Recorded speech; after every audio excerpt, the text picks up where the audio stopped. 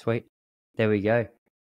Hey, um, yeah, I was just saying, really exciting to have a chance to sit down with you over the course of probably the last six months on this show. For whatever reason, it's not necessarily created with the intention of being a, a health or food podcast, but it seems to have been a theme over the last few months where the the subject of food, um, the subject of lifestyle, the subject of health just seems to continually come up and naturally um, in and around all of those subjects. It's it's hard to escape your face and what it is that you're doing, especially here in Australia. And um, I was trying to think of a, a really good launch point to the conversation because there's so many potential launch points. But one of the one of the ones that I'm I'm most interested in is the conversation around food. And so I thought perhaps I'll hand the baton to you and I'll say maybe as a way introduction to everyone, you could tell us a little bit about how you actually found your way to where you are now. But particularly with reference to food, how did you find yourself in that corner of the world? Yeah, uh, it, it, I think it's an interesting story because because of what happened in my life and the choices that I made, it brought me to where I am right now, which is usually what happens in your life. But for me, I was a keen snow skier. Uh, I spent um, a whole uh, ski season at Falls Creek in Victoria uh, when I was 18 and 19. And I thought, I want to go to university, but I want to ski. Where can I go in the world that I can ski and go to university? So I found a university in America that was 20 minutes from the closest ski resort, and it was called the University of, Co- of Colorado in Boulder, Colorado. So I I just thought, well, I'll pretend I'll do pre med. I don't know what I want to do, but I'll go do pre med, but I'll ski at the same time. And I was very fortunate. I was one Australian in 26,000 students.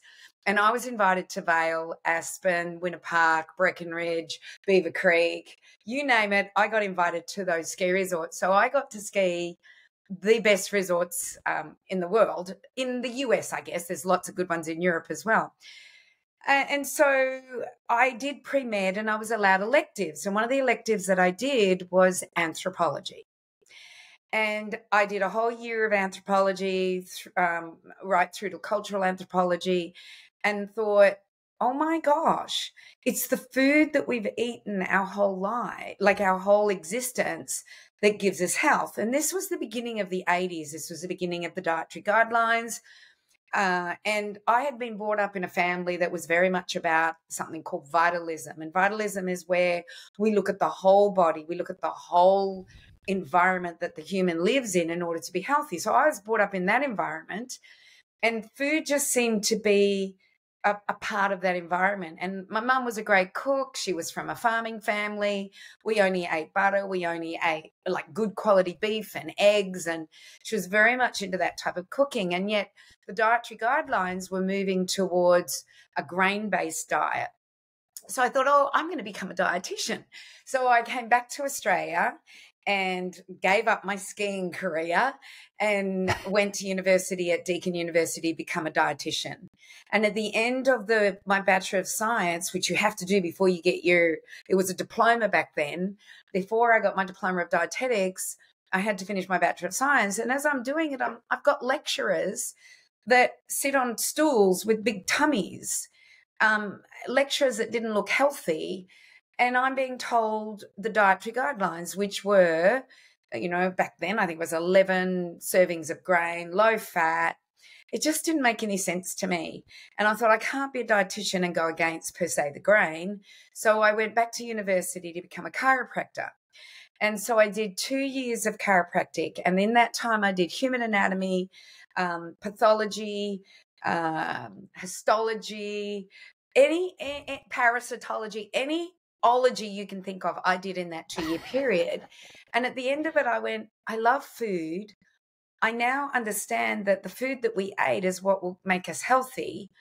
I'm just going to go out and beat my own drum. And um, I quit chiropractic and started consulting as a nutritionist because, you know, I had my degree in nutrition.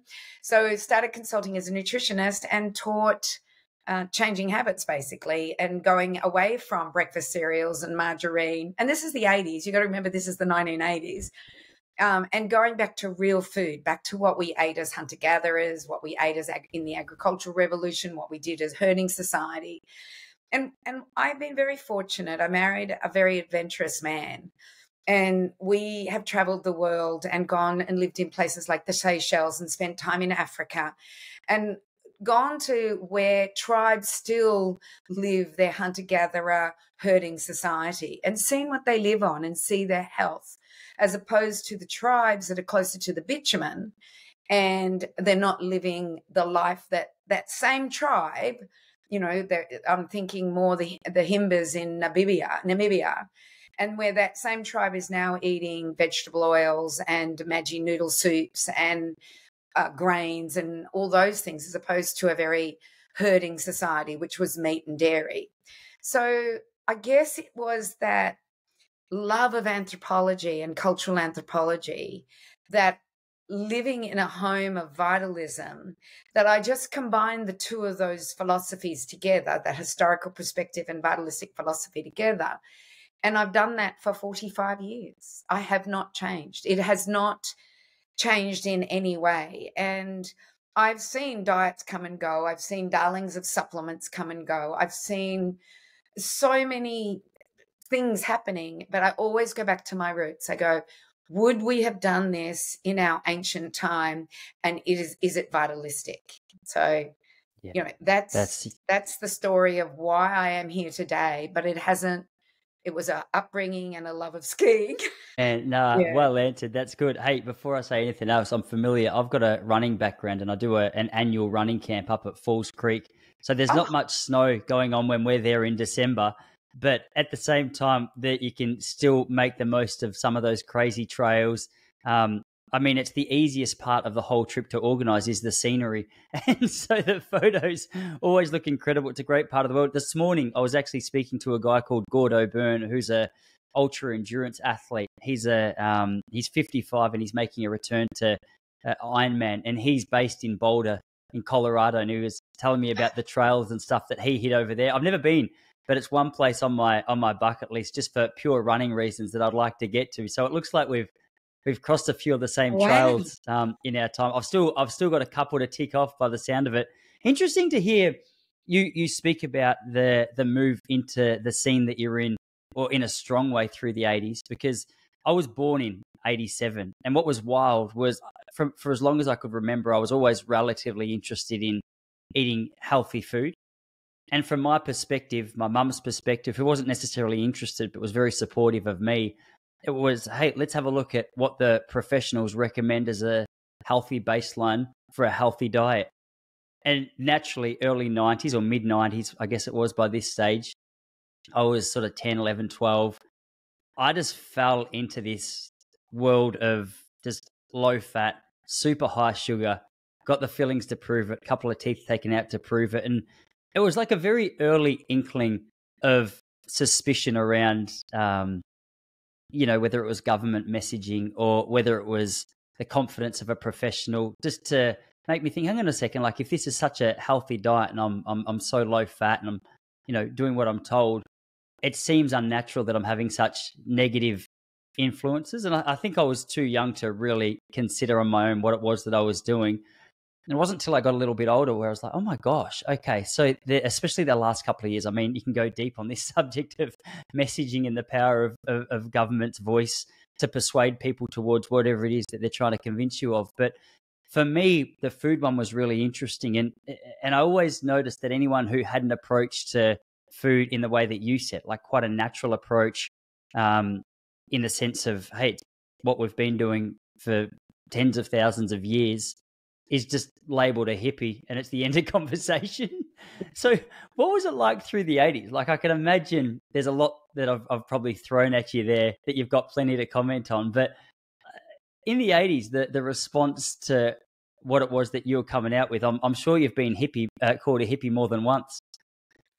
Oh, I've been called more than a hippie, I can tell you. I, I, I, Me too. Yeah, it's, it's, I was. I did nutrition. I, I practiced as a nutritionist right up until 89, 1989, and then I um, had my first child, and we moved to Queensland. And I didn't have a practice, and I felt like I wanted to do something with the knowledge I had. So I started writing for the local paper. And I was the weekly columnist in the local paper for two years. The letters to the editor were incredible. They were either very supportive or I'm an idiot. I'm a, a, charlatan. You have no idea what you're talking about. I'll never forget when I wrote the article on margarine. So this is like 1990, maybe the beginning of 1991. I wrote an article on margarine and how bad it was, and we should go back to butter. And and back then, you know, saturated fat was bad, and polyunsaturated fats are good. And what blows me away at the moment is people still think that, and yet it's been debunked over and over and over again. So I um, I did this article on margarine. Anyway, the Margarine Association of Australia contacted the paper and said that they wanted a retraction from what I'd said about margarine. And I just said to the paper, no, I'm not retracting it. I've got all the science. And margarine knows I have the science. So what they ended up doing to the paper is they said, we won't sue as long as you do a one page spread on the benefits of margarine, which they did. That was the Sunshine Coast Daily. Then the last article I wrote was on artificial sweeteners. And my editor rings me and he says, Cyndi, I can't. And these are the days when I typed it up and faxed it in. It just, I want your audience to understand this. This is typing up, faxing in. And he rings me and he goes, I can't um, print this. And I said, Why can't you print it? And he said, Well, I'll get sued by probably Coca Cola or, you know, because of the diet sweetness. And I, I said to him, you know what? I've been running for you for two years. And if you're not prepared to tell the truth and you don't have the guts basically to tell the truth, then I, don't want to be on your payroll anymore. And so I quit after two years of the, I did 100 articles. And at the end of those 100 articles, I went, there's a book in this. And that's when I wrote my book, Changing Habits, Changing Lives. But it was the letters to the editors that were very telling as to like there were medical doctors that would write in and saying margarine you know you shouldn't be debunking this and saturated fat's bad and and I, and I just thought how much nutrition have you had? All you've got is propaganda and that's basically all human humanity seems to have on diet is propaganda by the food companies or by um, I, have just I'm in the middle of starting. Well, I'm only just starting this book, but I've listened to a couple of his interviews, and it's called Fiat Food, and it's all about the fiat currency and inflation and why the foods that we eat today, which are cheap and nasty, and part of a agricultural revolution that is is killing people, as opposed to our meat and eggs and you know the foods that we used to eat. Um, but yeah, I just the more I dig into food, the more I realize that we have to make a stand about the food that we consume because we are all powerful when we make a stand about the food that we consume um, because we are telling the market that we're not standing for your additives and your flavors and your colorings and your glyphosate that you're spraying on those grains that you're telling me to eat 11 serves of but rather we're telling our local farmer that we're really happy with their eggs and their meat and their fruits and their vegetables and nuts and whatever else is available in your local area. So I'm I'm all for making a stand in this world, um, and food is my stand.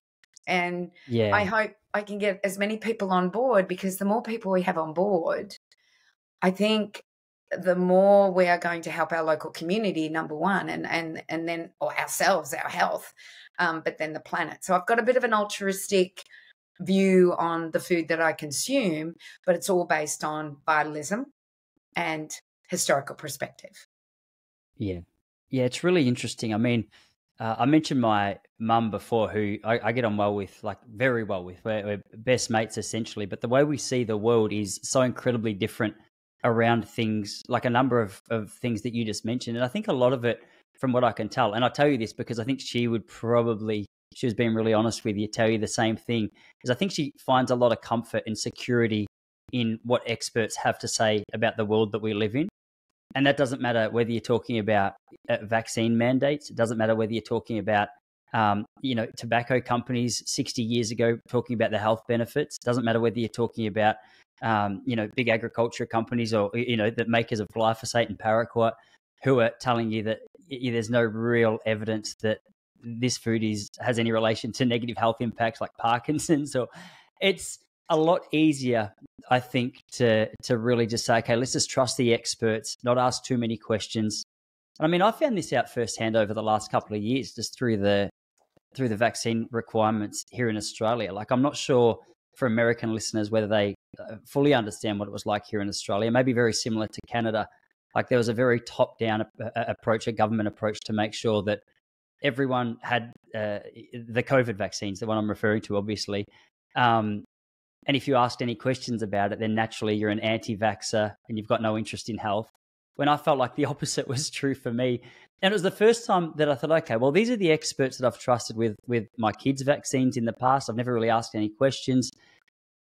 And for me, it had been a, a little bit of a whirlwind because the truth is, I, I think life would be a lot more comfortable if I could just continually hear these experts, the ones at Deakin University with the tummy talking about, you know, health regulation or uh, what's good for us and just trust it. But I, I think, I mean, you just have to scratch under the surface and see the rise in so many preventable diseases to go, okay, well, something's off. Like, I don't know exactly what it is, but someone's not telling the truth. And I mean, I look at the audience who follows your message. I saw a photo of about 50 or 60 people at one of the retreats you did at your camp last year. And I thought, well, everyone in that photo looks healthy. Like they look, they're, they're tanned, they look fit, they're in shape. Just to look at this as an audience that I would, I'm curious to, to find out more about. And I say all that, I guess, to ask, like, do you see that much? Do you, do you think much of the pushback to what it is that you're saying is a, a little bit rooted in fear of having to change the foundations that you've built your life on in a, in a lot of instances? Uh, yes, it, that would be the pushback, and and it would be easier to just go with the grain and and do what they're all saying. But then in the end, it won't be because most people in Australia who live to 75 live their last 15 years sick and disabled almost or if they live a little bit longer, they'll, live not good. Like you're a, a young, healthy man. I am a healthy woman. I don't take medications. There's very few people that can say what I say, and it's and I I, I kind of go. It's I get told by doctors I'm lucky that I don't need to take medications, and that I've never had to take a medication, and that um, I've never had a communicable disease because I, have never, my father didn't, my dad was a pharmacist, I have to tell you. And he, back in those days in the 1960s, you got two vaccines, I think, as mm-hmm. a child, but you walked to your vaccines, you did not get taken. So at the age of five or six, um, my dad would make us sit in the schoolroom and not go and get our vaccines, which were, was what it was. So I get told by doctors, oh, you're just lucky that you've never gotten this disease and you're just lucky that you don't take medications. And you're just like, and I go, no, I'm not. It's good management. And I and I brought my kids up the same way my parents brought our, us up, my siblings and myself up. And I um, and my children are bringing their children up exactly the same way. So if we're lucky, we're really lucky as, as a generational thing, like four generations of absolute luck. So the pushback is how I was brought up. I was brought up in a very, very odd family. I can only say that because we were the only ones sitting there not getting the vaccine. And that was the 60s, you know. We were the only ones that our dad wouldn't give us Bonjela or Panadol or paracetamol or antibiotics. And that was just the beginning of those drugs. Um, and so I just know how I feel. I also know how, if I'm not feeling 100%. So let me give you an example. Um, when I was 50, probably around 50, I started to get put weight on. I never put weight on in my life. I started to have aches and pains. Um, and somebody said to me, Oh, that's just menopause. And I went, No, it's not. We're not meant to put up with this there's something else happening in my body and I have to figure it out. Being a food girl, I went, it's food. So I did an elimination and I eliminated everything but meat and mm-hmm. above ground vegetables. That's all I ate. And I, I, um, oh, and I did have a, a few winter fruits as well. And I did that for three weeks. In the first week, I lost all my aches and pains and I lost four and a half kilos of weight. Now, you cannot lose four and a half kilos of fat weight. And the reason why I know this is that otherwise we would be a population of humans that didn't exist. We put weight on to survive a winter. We don't put weight on um, for any other reason but to survive winter. So if there's excess calories and excess energy, your body will go, hey, I can pack that away in a fat store so that when the winter comes, which did every year, the winter came, then I can use that fat store in order to survive. I don't know if anybody watched Alone. Was it Alone? The Tasmanian Alone? Yeah. And Gina. Gina put on 16 kilos to survive no food. So 16 kilos equates to 220 grams a day. Um, you will use, and that's 2,200 calories of fat that you will use in order to survive winter. And Gina did that. Gina just, oh, she was brilliant. She was absolutely brilliant what she did. So that's what our body will naturally do. We will just put on that weight. So um, I eliminated water weight. That's what I eliminated. It's like spraining your ankle. You get water on your ankle. It's about like 500 grams of water. You'll put that weight on. So I obviously had an all over um, inflammation in my body, and my body was holding onto water. So in one week, I lost four and a half kilos of water and all my aches and pains something I was eating was causing the problem. And yet, in one week, I had eliminated everything in seven days. I have to tell you, the first three days I slept. My body just would not allow me to stay awake. I would be in my office and my recept my one of the girls that I worked with, she'd find me on the couch asleep, or I'd be in a yoga pose and I'd fall asleep. And my body just was going through this cleansing process. By the end of the three weeks, I'd lost uh, nine kilos. I never put that weight back on again because I figured out what the food was that was causing the problem. But then when I figured out what the food was that was causing the problem, I went, why? Why is a food that we've probably been eating for 17,000 plus years uh, creating a problem in my body? So then I went on to study that for two years and then created the documentary called What's with Wheat. And that's not weed, W E E D, it's wheat. a lot of people say, well, of course there's a problem with weed, Cyndi. And I went, no, wheat, wheat. so I created the documentary What's with Wheat. And I and that's when I learned about glyphosate and paraquat and uh, as you mentioned, both of those and atrazine and and what when they were spraying it and how much was in our wheat and what it was doing to our microbiome and then what it was doing to health and my health particularly. So for everybody out there, everything is about me. It's all about me being the best that I can possibly be. And then when mm-hmm. I find there's a problem, why is there a problem with me? It must be more than just me. It must be with other people as well. Then I go and research that and then I get excited about it and I write a book or do a documentary or create a course or whatever it is that I need to do. I don't know, in order to say, hey guys, this is what I found out. Maybe this is affecting you as well. So uh, that's, that's basically, um, yeah, how luck works in my life. it is funny. Yeah, I've had that same conversation a lot of times. People say it's it's good that you're in shape. I said, well, I ran 15 k's this morning, and you know I'm on the way to the gym, and I'm watching what I eat, and I guess it's lucky that I know the knowledge, but uh, maybe it's not. But it is, yeah. It, it's funny when you don't quite have the the insight that someone has. You often just uh, attribute whatever it is that's causing their luck to to luck rather than habits, which is something obviously that um that you've you've had a lot to say about when it comes to the wheat, like this is something that is a really interesting conversation. And I mean, I, I spoke to um, a nutritionist on here. I don't know if you know her, Lucia Rivas-Heri. No.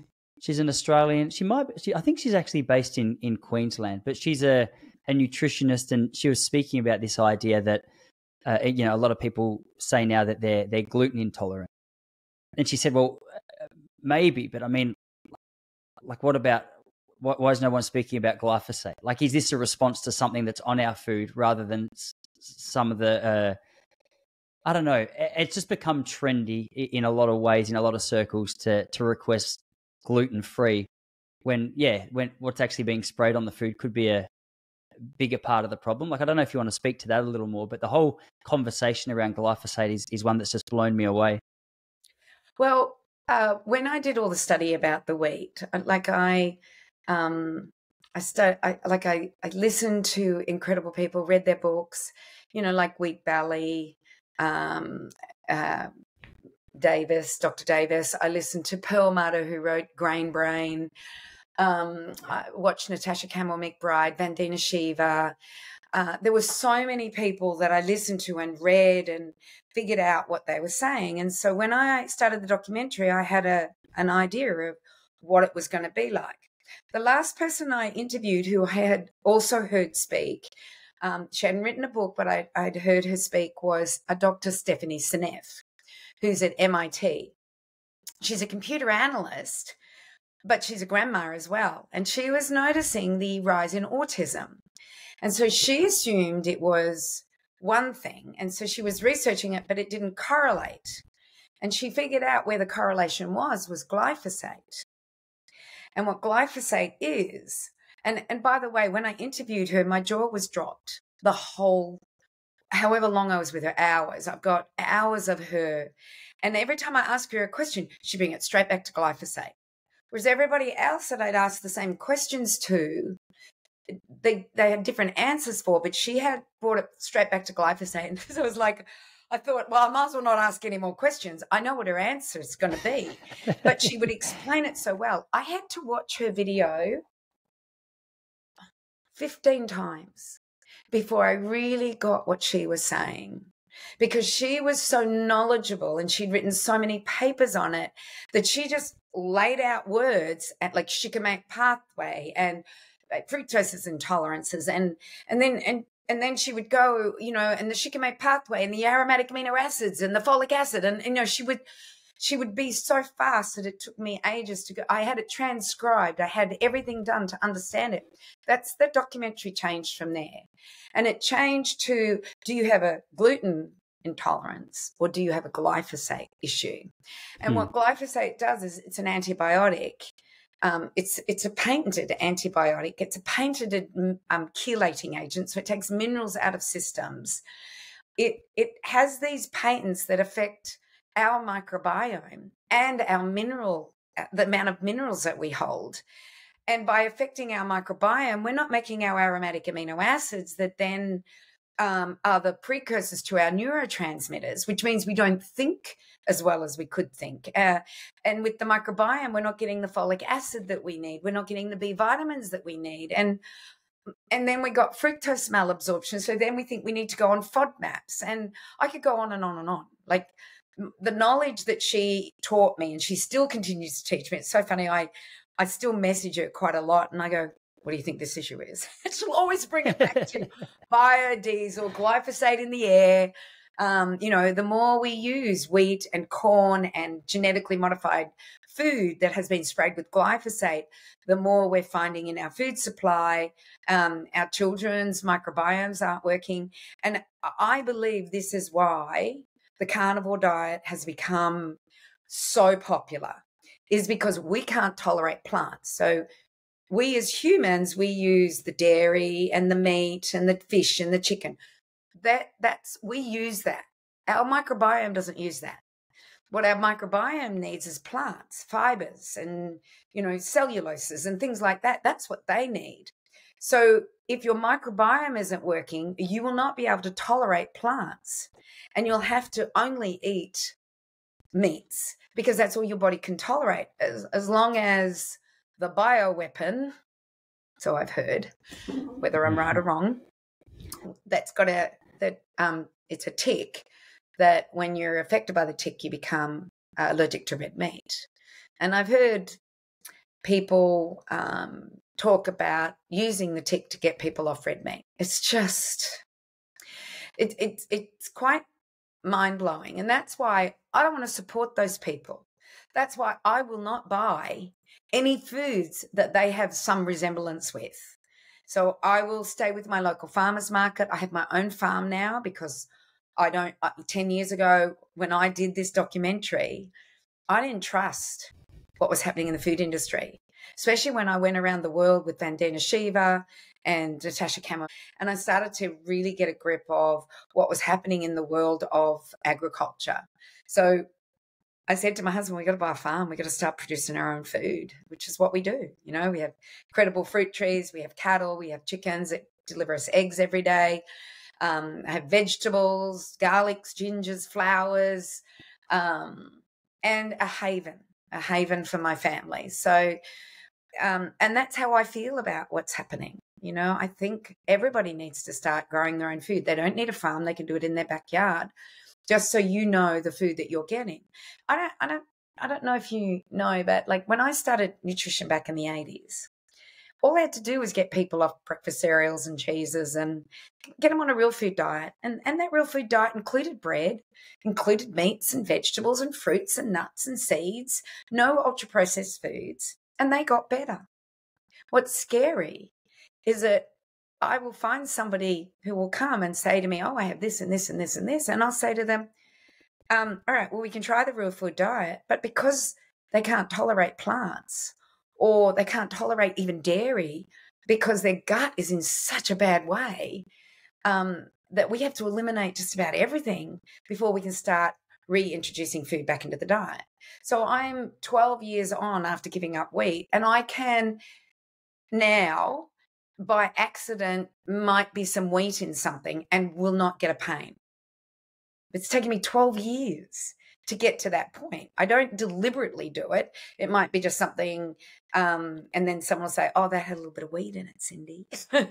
but I used to, I used to always get sore backs and sore joints. Then I just got a sore finger, and now I don't even get that anymore. So obviously, I've repaired enough that my body can tolerate, um, and and that's, you know, that's what we need to do. We need to get back to uh, where we can tolerate food again. It's so sad. Mm. Like I've seen 45 years of this and I've seen this progression, but it really started happening around 2000.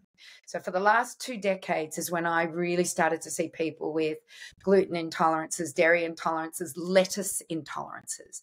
That that blew my mind and I started to go, why are people intolerant to lettuce? And then I found out that lettuces have this um, process done to it. It's not, they don't call it an ingredient, they call it a process.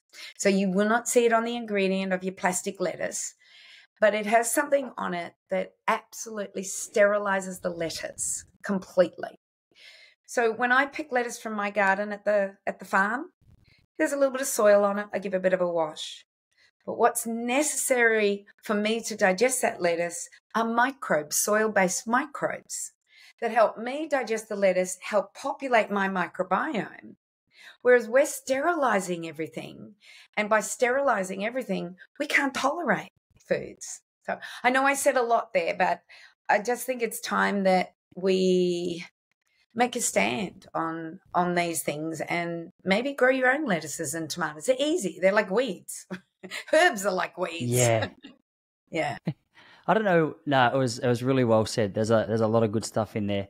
I don't know whether this is just my age and everyone goes through an a uh, like a phase like this with their friends, but hearing you speak about your farm and growing your own veggies, there, there's a lot of people in my life at the moment. As you were speaking, I, I reckon I thought of about five different groups of people who are all dead serious and keen about us going in together to get some form of land to do exactly what it is you're speaking about. And I'm, it's nice actually for me to hear you say about how you can just grow this stuff in your backyard. I'm looking out at my backyard now, which is tiny. And I mean, we've got the cherry tomato plants, and my wife's got a fig tree. but that's the that's the extent of what we got. We actually, unfortunately, we, we moved from a house with a monstrous backyard, and I was sort of starting to go down the rabbit hole of what you were talking about. We had some chickens, and we had some, you know, different fruits and things going on. Actually, really inspired by Zach Bush. I, I read some of his Instagram posts and started with a compost in the backyard, and from there, just started to get the bug a, a little bit. But um, have you noticed like there's been a, a real trend towards people being at least open to this farmyard, or is that just the age that I'm going through? People hit their late 30s and go, you know what, we should probably consider a farm. no, I, I think it's a real trend. It's it, it's a it's a good trend, and I hope people mm. do follow through on it, because the more people that are growing their own food, the the more the, the less likely are we going to have food shortages. Um, at the end of the Second World War, and Zach Bush talks about it, they did victory gardens. Um, or during the Second World War, they did victory gardens. Everyone had to grow food in their backyard in order to feed themselves and the troops because the troops were men who were farmers who weren't now growing the food. So they they just got everybody in America to do that. Like my mum's American and you know her parents remember the Victory Gardens, and they grew on two acres enough food to feed 13 people. They were incredible. You know, they knew how to do it. And so I think I think that trend is is coming back, and I think it's very important um, that that trend comes back because it, when we don't have or have the knowledge of the art of growing our own food, then we're going to be in big trouble. It's been a huge learning curve for me, and that picture of people that you saw at it was last year. I did the Festival of Food and Farming, and it was to teach your age group to farm from a small plot to a big plot. So I had farmers with 60,000 acres and I had people there with one acre.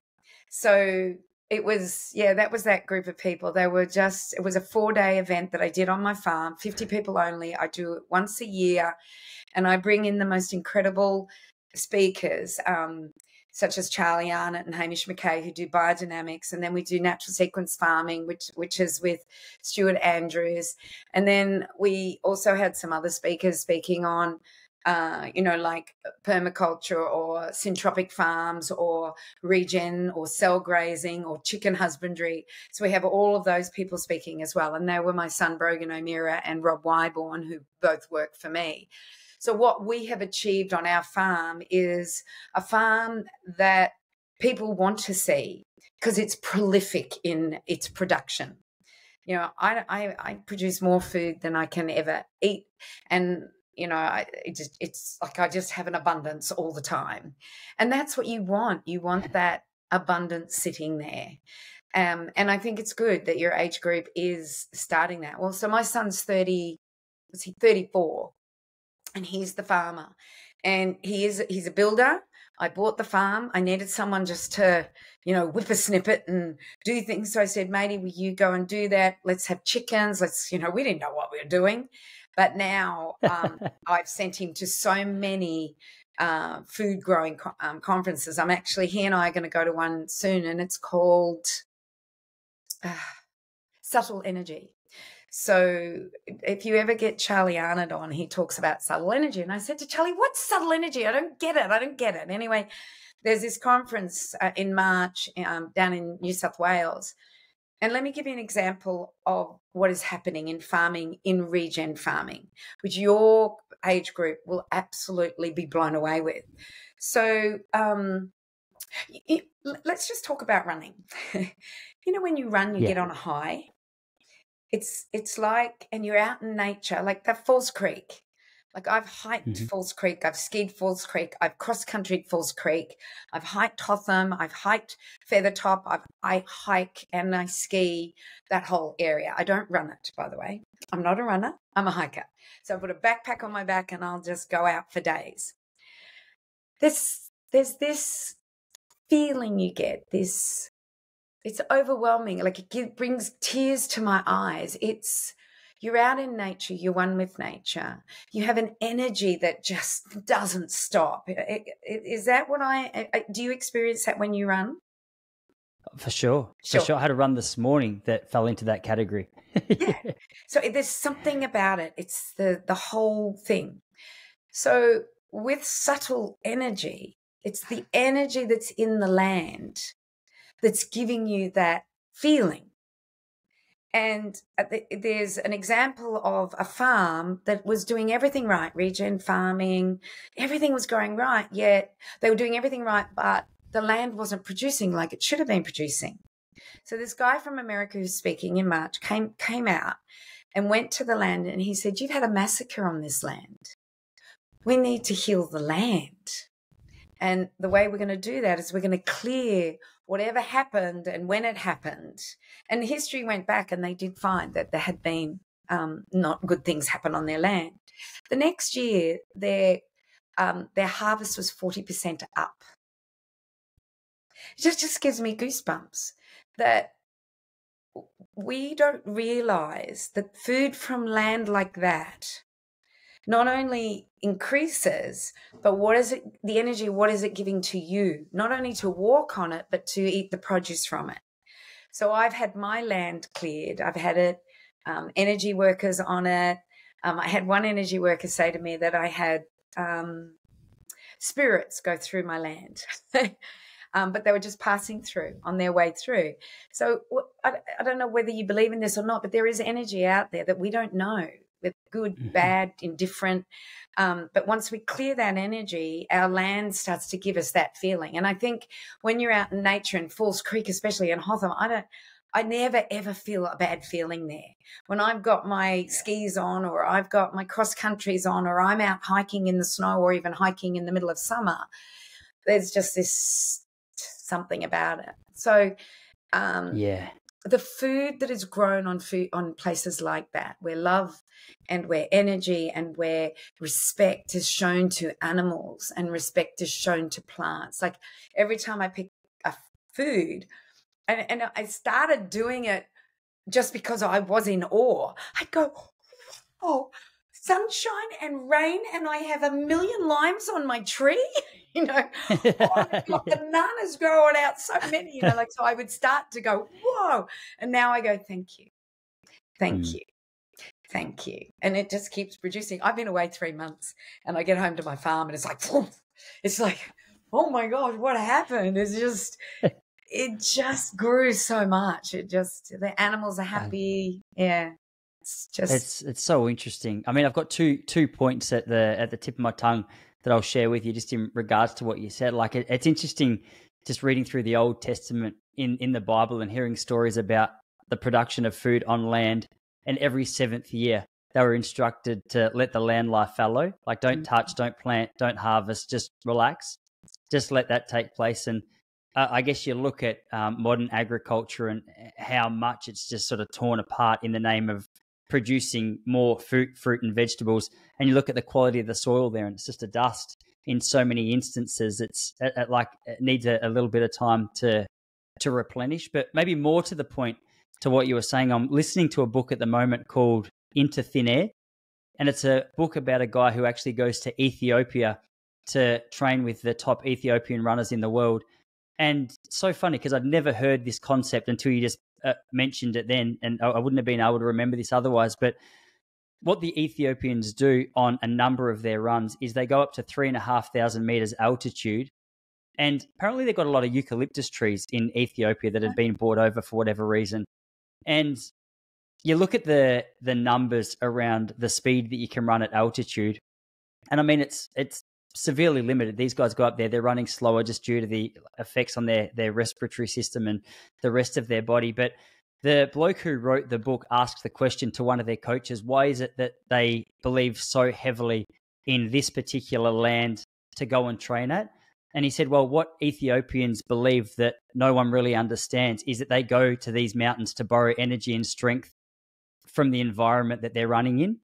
So they said they have a genuine belief that when they're up there, the, the trees, the soil, the dirt actually inserts energy into their body that they can bring back down to sea level that helps them run at a faster pace. And I heard that and I thought, well, at the very least, like the psychological benefits of a belief system like that, I wasn't even really thinking about it literally. But I mean, when you actually think about that literally, it also makes sense. I, I totally relate to what you said about Falls Creek. I reckon we were there for five days this year and I, I, don't think I experienced any form of stress in five days. you know, it was there, uh, not only was there not much to do in between runs, but when you're out there running and you're, as you say, like you're, you're at one with nature. I mean, good luck being stressed in that environment, unless you fall off the side of a cliff, which none of us did. but it's a it's a crazy experience, and I, I felt like I came home revitalized and rejuvenated, and um, yeah, it's a really interesting conversation. What was the guy's name that you said speaks speaks to it? I wrote the book about it.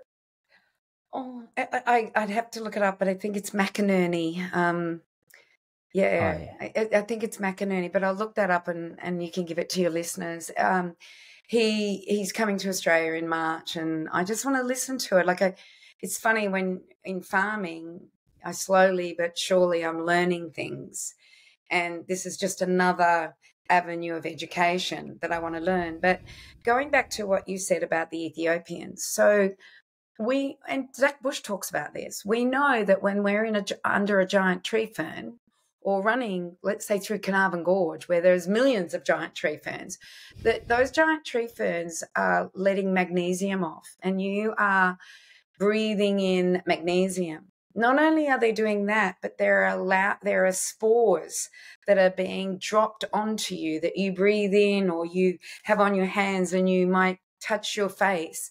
You consume that and that helps your microbiome. We've got that transfer of oxygen and carbon dioxide between plants and us. When we ground, we have a and that's running with no shoes on or walking with no shoes on.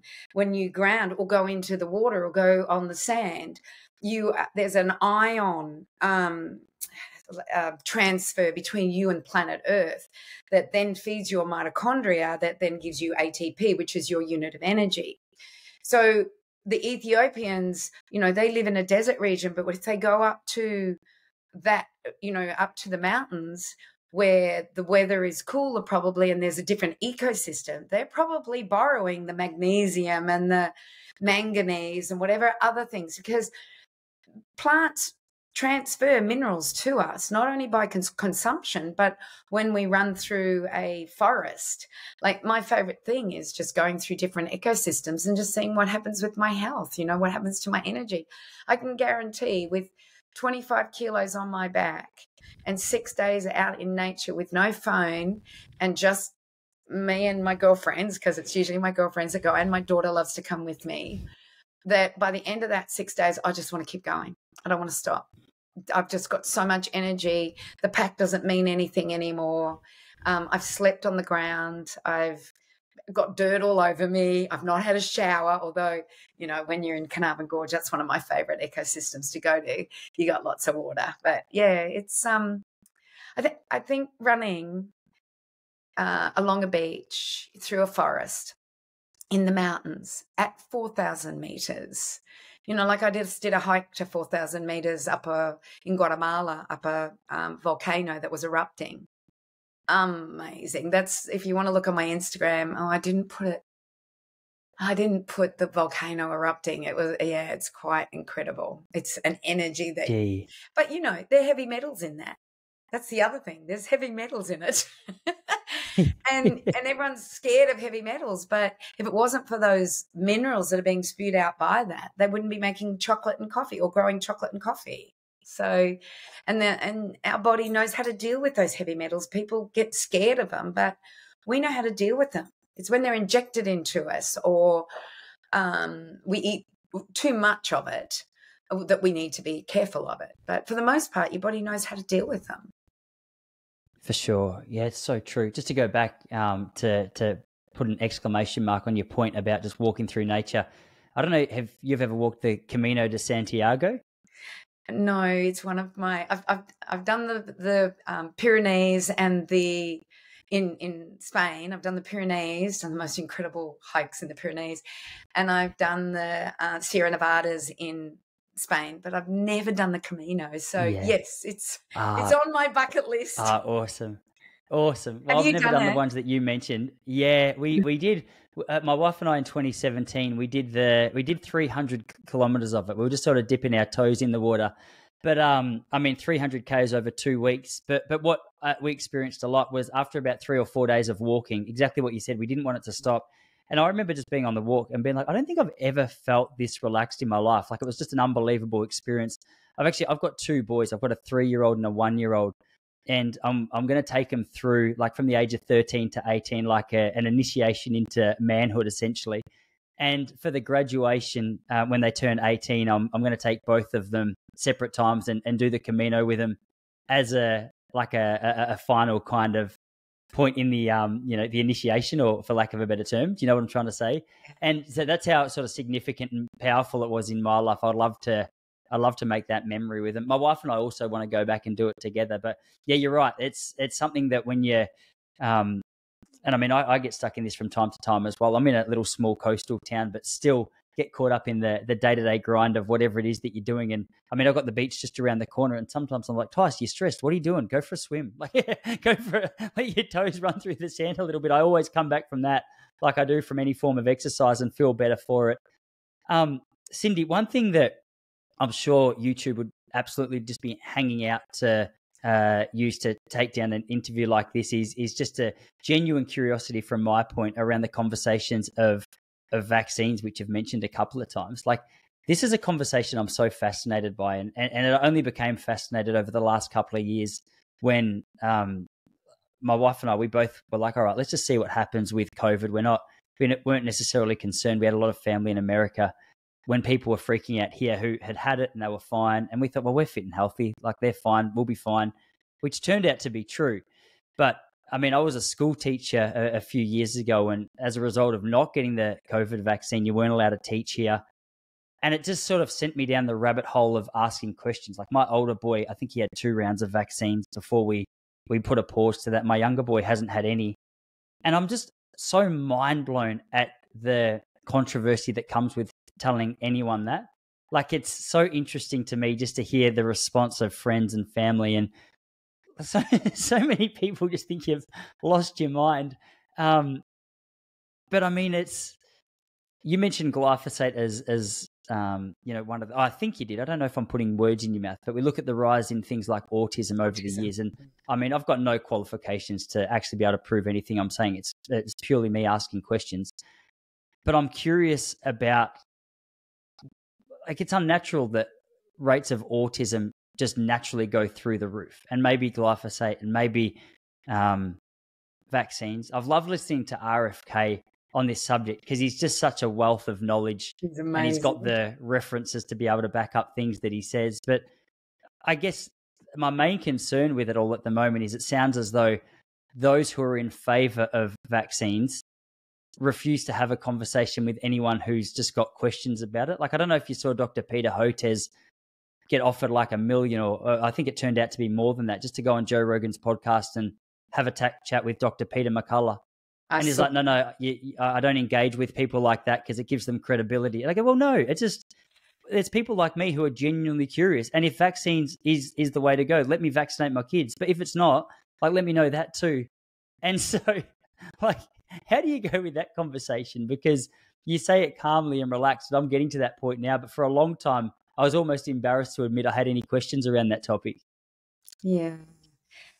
Well, like, you know, like my dad was way ahead back in the 60s. He just said no. That blew my mind what you said about your dad before as well. Yeah, yeah I, I, couldn't believe that he was a pharmacist, you said, and, and he was, was, a pharmacist. Already there. Um, yeah. He, he was a pharmacist who, and I think this is a good story to tell.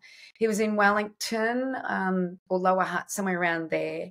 And he was a pharmacist and he would give scripts. And the only people he was giving scripts to were the 70 and 80 year olds that young people didn't need scripts. And one day he was walking down the street, and this um, gentleman who he used to give Pepto Bismol to, um, he ran into him and he said, Why are you not coming in to get your Pepto Bismol, which is for indigestion? And he goes, Oh, the quack up the road helped me. And he goes, Who's the quack up the road? And he goes, The chiropractor. And so my dad got interested. My dad someone who questions everything, and he got interested. And he went to see this guy called Cecil Phelps. And dad quit pharmacy straight away, started working as a carpenter, and saved enough money in 10 months and flew to America to become a chiropractor in 1957, I think it was, 57, 58.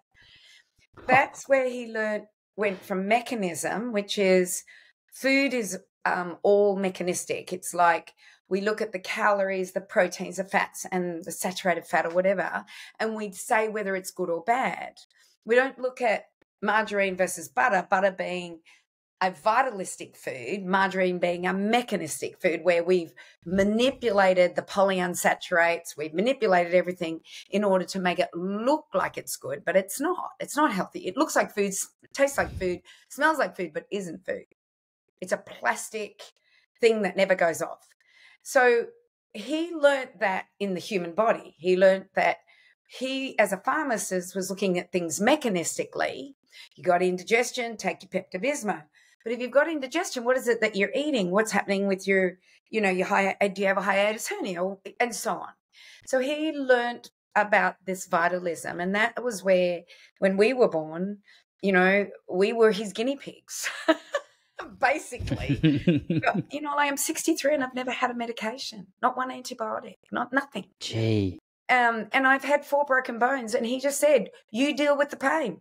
This is your way of dealing with pain, understanding what pain is all about. These days, what do we do? your pain's bad, give you a give you a pill. He wouldn't give us anything. No matter what happened to us, we weren't allowed anything. So um, I guess when I then became a mother in the 80s, uh, the late 80s and early 90s, and I went to my play group, people would question me, why do you not vaccinate your children? And I, I would give them that the, the human body is an innate intelligence, give it the right resources, and it'll be the best it can be. And that would be, and back in those days, there wasn't that um, angst that there seems to be now about it. Like there, they just, it, there seems to be this real fighting about it. I remember one girl though, who was, she was always worried about me and my kids because we weren't vaccinated. And the saddest thing happened. Um, her son was vaccinated at 16 months and he died 24 hours later. And she came to me three months later. Like we were there with her looking at, because she was part of my playgroup. She was one of my friends. She always was a little bit, she thought I was a bit of a witch, a bit of a, you know, a hippie, a bit voodoo doo doo. And she came to me and she said, I know what killed my son. And I'm not doing this again. And I'm pregnant. What do I do? And so I said, I tell you what, let's get, and so I'm not the expert. I might know a lot, but I'm not the expert. And so I said to her, let's get this lady that's written this book, A Chemical Assault on Our Children. Let's bring her to the Sunshine Coast and let's do a talk. Then you will get the information, and so will all our friends. And that's what we did. We got 175 people at the Maroochydore RSL to come and listen to this woman speak, who was probably one of the first writers on a chemical assault on our children, which was on the vaccine issue. And and she she just chose not to to do it again. And of course, through COVID, she was her pillar of strength, you know, for her whole family about what was happening. So for me, um, I just say, why don't you read the book? Why don't you read mm. it? You know, this is my story. Could be your story. Um, it's up to you whether you choose to do that or not. And and I'm not, um, you know, I'm I'm I'm not. I'm a, I'm a real advocate for food, but when it comes to vaccines, I do what I think is right for my children, and no one will tell me how to uh, what I have to do to my children in order for them to be healthy. So I was a mother bear, a very, very big mother bear. And I'm that way with my grandchildren too. And my kids have learned and they know, and they've got partners that have also come on board with us, only because I don't advocate it. You do what you want. Here's a book, read the book, and you make your own decisions. And you know, RFK, I, I just adore him and what he's doing and what he's standing up for and how he risks his his life. I was reading something in the paper yesterday. They didn't even talk about RFK as a potential presidential runner. This is an Australian paper. And I'm like going, You're talking about Biden and Trump. You've forgotten that Kennedy has a huge part of the vote under the age of 35 you know, and, and he wants to get the health of hum, humans back. You know, he talks about the 1986 Act, where all vaccine manufacturers back then in 1986 they weren't we weren't getting many vaccines. Then he talks about the 1986 Act, where all vaccine manufacturers were given total um, immunity if anything happened to anybody that was vaccinated. So that makes me think well, what's happening? I was already thinking, but that make that I would think that that would make me think. And I think the whole COVID um, mandation of the vaccine made a lot of other people think. And then I don't think there's anybody that doesn't know somebody that was injured by this vaccine. They're saying one in 800. That's the stats. If you listen to Ed Dowd, mm. there's another guy that's um, doing some stats in the US. Um, and they're saying it's one in 800. And if you look at the New Zealand stats, that guy that is the whistleblower in New Zealand, and he's showing what what injuries or deaths have happened, and it's one in 800. They pulled thalidomide long before that. They pulled, you know, Vioxx now. They've pulled, um, they're now looking at oxycodone as, you know, what it's doing. And I don't understand why. And I think people are kind of going, well if that if that's what's happening it's it's about you being questioning and not taking everything at fact and i think that that's what my dad taught me was to question everything mm. and i question even the carnivore diet the vegan diet the the, the fiat diet the fiat food the so i'm questioning all the time and i'm inquiring and if you don't question and you don't inquire then you're going to go down the, ro- the route of mandations, being told what to do. Um, the the WHO in May, World Health Organization in May, are going to take over legislation in Australia for when there is a pandemic on, and if people thought about this. So I hope your listeners are questioners. Don't take anything I say as fact. Nothing question everything. Go out and do your research. And it's not easy on google. You you know like you can i was listening to oh i was listening to dark horse. Uh is it dark horse? Dark oh, horse? Yeah. like i just mm. love him. Um the both of them. And they were talking about polyunsaturated fats cholesterol and of course that's my love you know all about this. And she said i pretended that i wasn't me and i went on google and I typed in polyunsaturated fats and health. I could not find anything about saturated fats being healthy or cholesterol being healthy.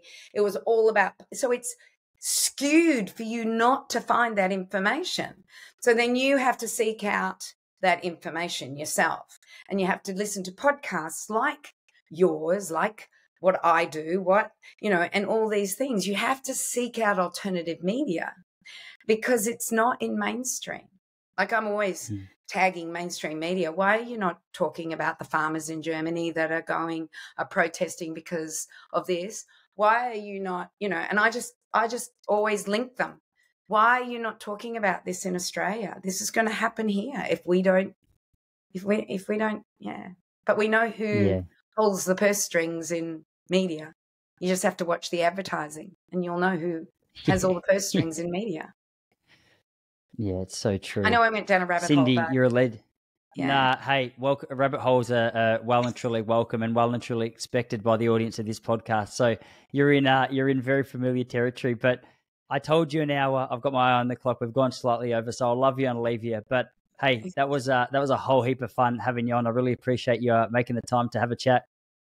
Thank you. I I loved it. You really brought up some good questions and you know, I only get to talk about food, and we talked about so many other things like agriculture and and health of our children. I think you know we've lost that health. Yeah, but thank you. Yeah, awesome. No worries. Thank you so much. All right, I'll leave you to it. I'll see you later, everybody.